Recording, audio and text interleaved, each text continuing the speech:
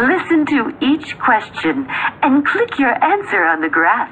This graph shows different playground rides that children like. Click the playground ride that three children like best. Click me if you need to hear the directions again. Good thinking. Click the playground ride that the least number of children like best. Great graph reading. Click the playground ride that most children like best.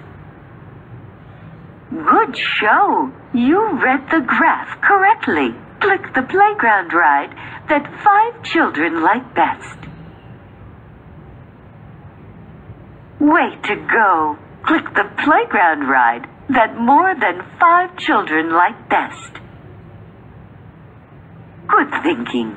Click the playground ride that more than three children, but fewer than six children like best. Great graph reading.